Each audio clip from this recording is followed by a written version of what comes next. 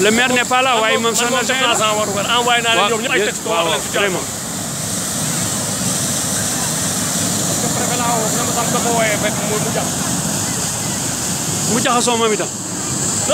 na ma mais mais Dakar ne pas avoir de loyer. ah oui